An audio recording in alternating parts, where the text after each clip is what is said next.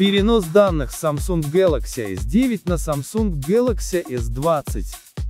Скачиваем и устанавливаем приложение Smart Switch на обоих телефонах.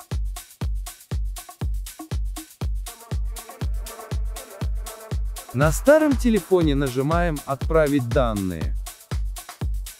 На новом телефоне нажимаем «Получить данные». Выбираем Android и беспроводное подключение. Ждем. На новом телефоне вводим пин-код, который появился на старом телефоне.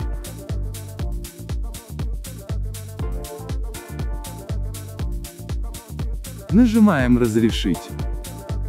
Соединение установлено.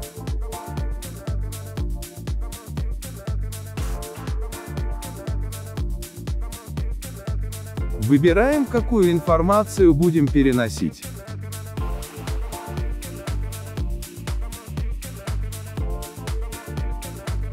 Нажимаем «Копировать».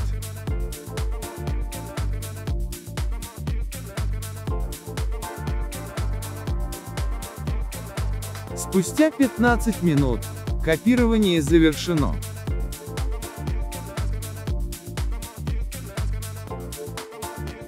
Подписывайтесь на канал и всего доброго.